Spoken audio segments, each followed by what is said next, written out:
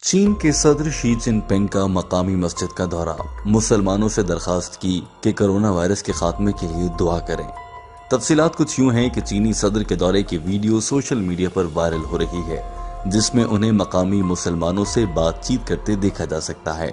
ذرائع کہتے ہیں کہ صدر نے درخواست کی ہے کہ مسلمان چین میں کرونا وائرس کے خاتمے کے لیے دعا کریں۔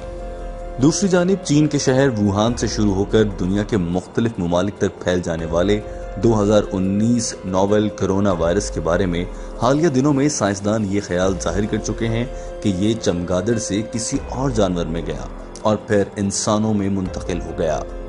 اب طبی جریدے جنرل نیچر میں شائع کی گئی تحقیقی رپورٹس کے مجموعے میں اس خیال کی حمایت کی گئی ہے۔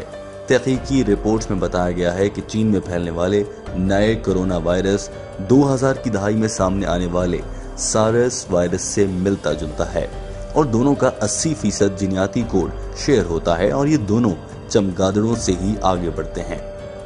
پہلی تحقیق ووہان انسٹیٹیوٹ آف وائرولوجی کے ماہرین کی قیادت میں ہوئی جس میں سات مریضوں سے وائرس کے نمونے حاصل کیے گئے، جن میں شدید نمونیا کے کیسز رپورٹ ہوئے تھے۔ ان میں سے چھ مریض ووہان کی سی فوڈ مارکیٹ میں کام کرتے تھے، جس کے بارے میں مانا جاتا ہے کہ وہاں سے یہ وائرس دسمبر میں پھیلنا شروع ہوا۔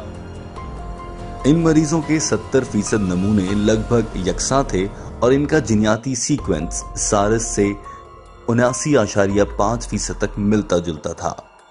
تحقیق میں شامل سائنسدانوں نے بھی دریافت کیا ہے کہ کرونا وائرس چینی چمگادڑوں کی نسل میں پھیلنے والے دیگر کرونا وائرسز جیسا ہی تھا اور پچانوے فیصد جینیٹک کوڈ میچ کر گیا۔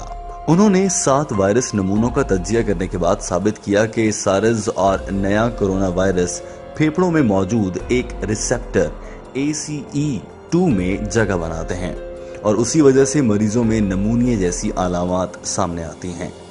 دوسری تحقیق میں شنگھائی کی فودان یونیورسٹی اور Chinese centre for disease and protection نے ووہان کی سی فوڈ مارکیٹ کے ایک اکتالیس سالہ مریض کا معائنہ کیا، جو چھبیس دسمبر کو ووہان ہاسپٹل میں سانس کے مرض اور بخار کی علامات کے ساتھ آیا تھا۔ اس شخص میں موجود وائرس کے تجزیے سے ثابت ہوا ہے کہ یہ سارس جیسے کرونا وائرسز سے انانوے فیصد تک ملتا جلتا ہے۔ چونکہ سارس اور دو ہزار انیس کرونا وائرس انسانی خلیات میں ایک ہی طریقے سے داخل ہوتے ہیں، تو ان تحقیقی رپورٹس میں شامل سائنسدانوں نے کہا ہے کہ سارس کے ممکنہ طریقہ علاج نئے کرونا وائرس کے لیے بھی شاید کارآمد ثابت ہو سکتا ہے۔ سارس یا اس نئے کرونا وائرس کا کوئی مخصوص طریقہ علاج یا ویکسین موجود نہیں، مگر سائنسدان سارس کے لیے ادویات اور پری کلینکل ویکسینز پر کافی عرصے سے کام کر رہے ہیں۔ اور ممکنہ طور پر اس نئے وائرس پر کام کر سکتے ہیں۔ تاہم، فی الحال یہ صرف خیال ہی ہے اور اس کی تصدیق ہونا باقی ہے۔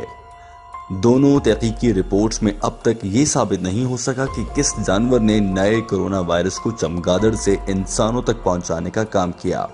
تاہم، پہلی تحقیق میں اس حوالے سے چند اشارے دیے گئے ہیں۔ چین کے صدر شی جن پنگ کی مسجد آمد ملک کے موجودہ مشکل حالات کے پیش نظر مسلمانوں سے دعا کی اپیل کی۔ دوستو، ویڈیو دیکھنے کا بہت شکریہ۔